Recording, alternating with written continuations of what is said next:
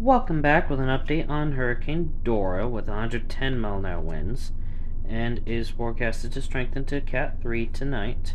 120 mile an hour winds, Cat 4 tomorrow afternoon, albeit briefly at 1:30, going back down to 120, 110, 100, 90, 90, and 85 mile an hour winds through the 7th.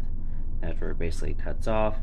Anyway, satellite imagery, cone, models, and wind.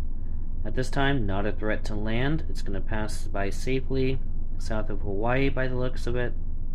Um, but that does open the door for this thing to try to re-strengthen into like a typhoon, possibly out further west.